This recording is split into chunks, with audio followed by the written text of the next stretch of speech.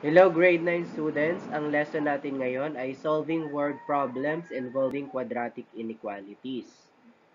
So dito sa topic na ito, kailangan alam nyo muna yung mga important phrases na magti-trigger sa inequality symbol. Okay. So makikita nyo dito, these are the phrases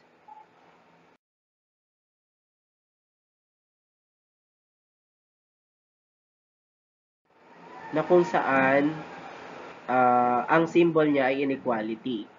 So, the phrases should not exceed, is less than, is more than, is greater than, at least, at most, range of distances, range of cost, and alike are indicators of inequalities.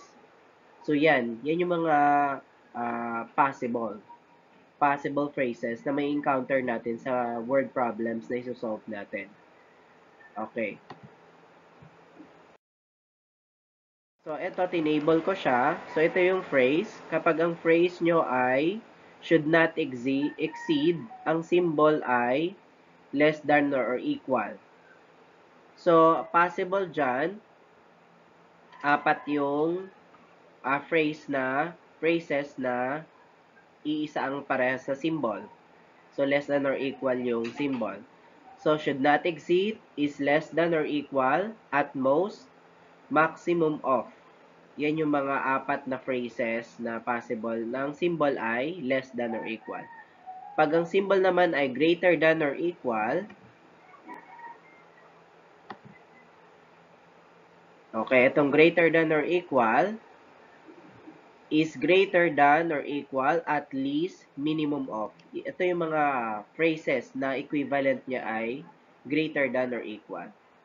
So, pag less than naman, ito is less than below.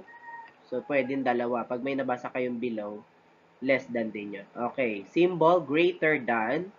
So, dito, is greater than or above.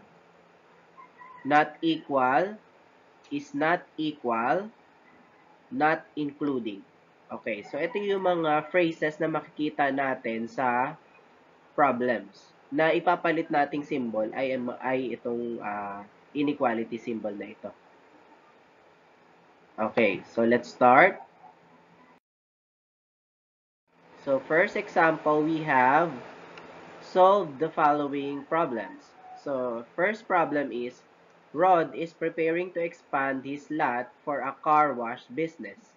The lot measures 12 meters by 20 meters, and he wants to expand the size by adding an equal distance to two of its sides as shown. So, anong as shown? Ito. Yan. So, nagdagdag siya ng, ng x. x distance represented by a variable. Okay, hindi natin alam yung dinagdag niya dyan, kaya x. Okay. However, the new lot with expansion should not exceed, okay, 345 square meters. What range of distances in meters can Rod add in his lot? Okay. So, meaning to say, from this original picture, pwede nating sabihin na ang uh, width natin ay x plus 12. Kasi may x ka na doon, may 12 meters pa sa original na dinagdag, na dinagdagan ng x. Okay? Tapos dito sa uh, new length ay x plus 20. Ba, dahil nagdagdag kayo ng x sa 20. So, pwedeng 20 plus x or x plus 20. So, inuna ko lang yung variable. Again, pwedeng 12 plus x or x plus 12, pwedeng 20 plus x or x plus 20. So, mas, ma mas madali kasi pag una yung variable. Okay. So, ang area natin, kasi sinabi dyan, the area should not exceed by 345. So, ang length times width natin, because of this word should not exceed, dapat, ang symbol natin is less than or equal to 345 yun ang binigay na area. It should be less than or equal because should not exceed based on the uh, phrase. Okay, ngayon, isa-substitute natin tong x plus 12 tsaka x plus 20 sa length, length and width. Ayan. So, x plus 20 yung length, x plus 12 yung width. Less than or equal to 345. Okay. I-foil natin. So, nagkaroon tayo ng x squared plus 32x plus 240. Okay. Less than or equal to 345. Ngayon, para maging 0 tong 345, kailangan natin mag-minus ng kamukha niya, 3, 345. So, both sides. So, x squared plus 32x plus 24 minus 345 is less than or equal to 345 minus 345. Para maging 0 to. Nag-minus lang tayo nito. Same side. Or simple, transfer, change the sign. Yung una kong turo. So it becomes x squared plus 32x minus 105 is less than or equal to 0. Okay, since this is less than or equal to 0, i-equate muna natin siya into equal to 0 as quadratic. Then factor, para maging quadratic muna siya, quadratic equation. Then we can use factoring to solve for the roots. And the roots are negative 35 and 3. So this is this is our r sub 1, root 1 or root and root 2. Okay, so if we use the table in the previous lesson, if our quadratic inequality is ax squared plus bx plus uh, c is less than 0, ito yung solution set niya. X is greater than or equal to r sub 1 but less than or equal to r sub 2. Okay, where r sub 1 is less than r sub 2. So, alin ang mas mababa dito? So, itong negative 35. So, ito yung r sub 1. Yung x equals 3, ito yung r sub 2. So, substituting, it becomes uh, x is greater than or equal to negative 35 but less than or equal to 3. So, x is greater than or equal to negative 35 but less than or equal to 3. Yan po ang basa dyan. But this is not the final answer. Not the, this is not the final answer. Why? because distance, we are asking for range of distance and the distance is always positive. So, this negative 35 up to negative 1 are not included. So, it becomes x is greater than or equal to 0. So, mas mula sa 0 hanggang 3. So, yun yung value niya. Included ang 0 and 3. So, our final answer is x is greater than or equal to 0, but less than or equal to 3. So, this is now the final range of distance because it should not be negative. Okay, so inalis lang natin yung negative 35 up to negative 1. Okay, next problem.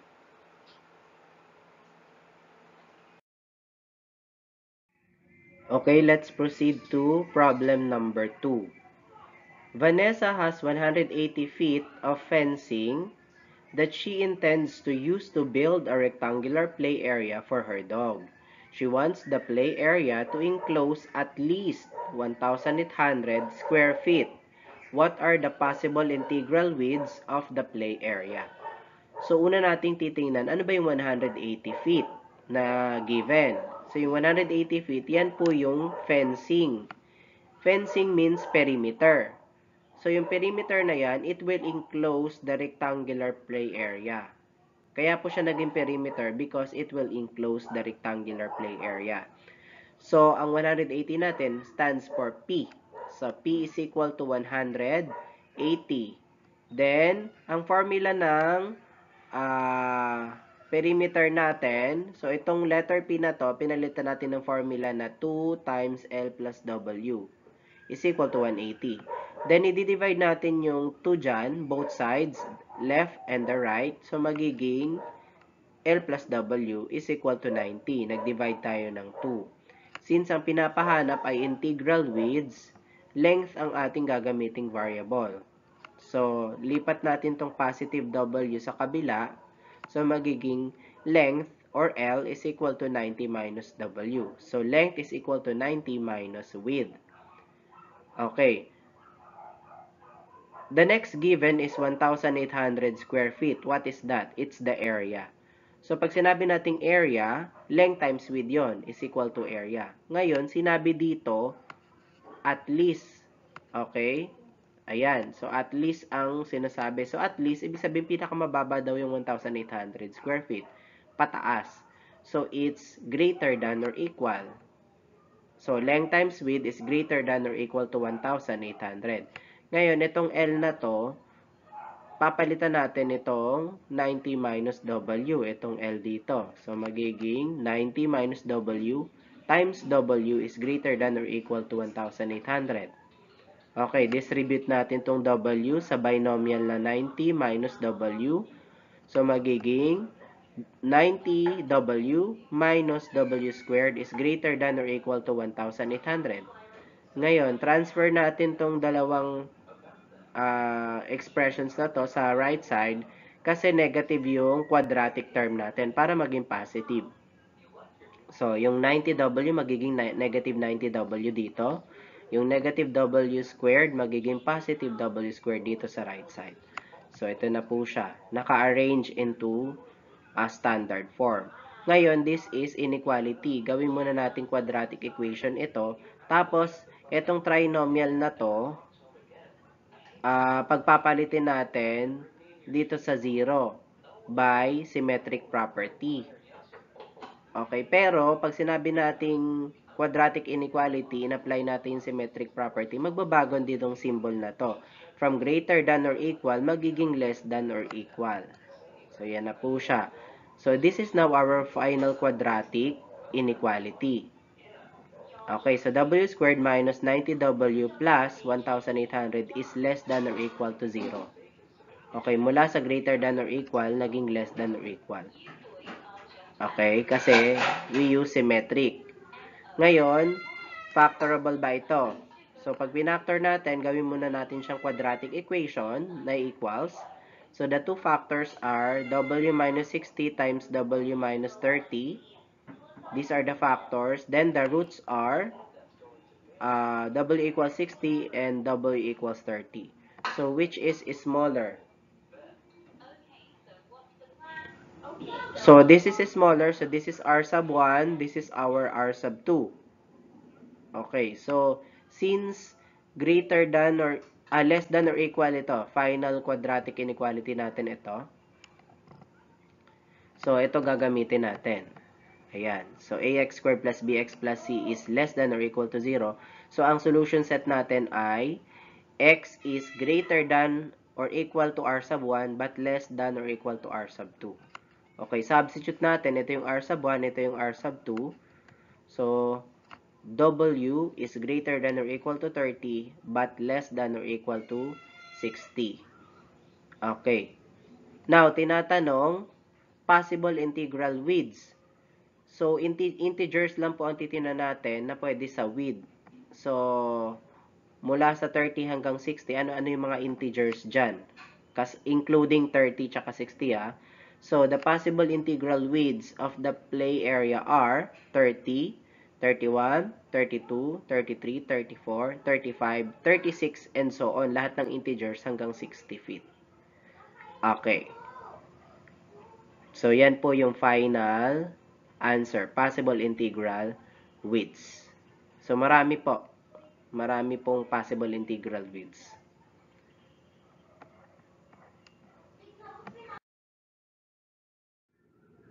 Okay, let's have the third problem.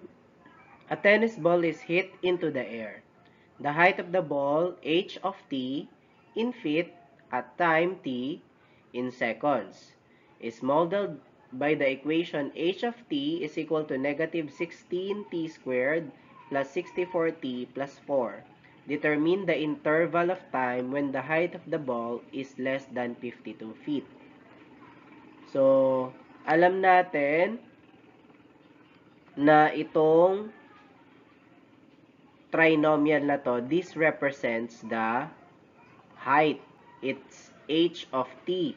Sabi dito, ang height daw natin dapat less than 52.